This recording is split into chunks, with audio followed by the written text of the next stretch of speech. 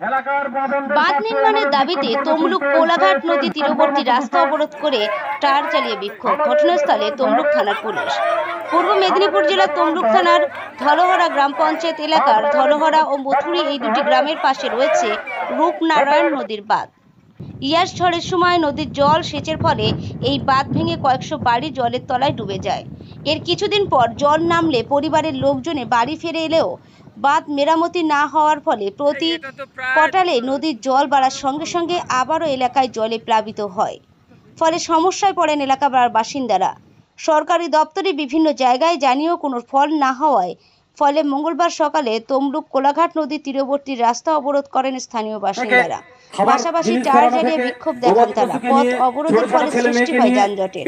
ঘটনাস্থলে যায় তমলুক থানার পুলিশ। পুলিশ এলাকা পরিদর্শন করেন এবং আধিকারিকদের সঙ্গে কথা বলে দ্রুত সমস্যার সমাধান হওয়ার আশ্বাস দিলে এলাকাবাসীরা পথ অবরোধ তুলেন আমাদের এই নদীবাদ ভেঙে যাওয়ার কারণে আমরা প্রতি মুহূর্তে ডুবতে থাকব। আমাদের বাড়িঘর গবাদি পশু সহ সমস্ত কিছু ডুবে যাবে।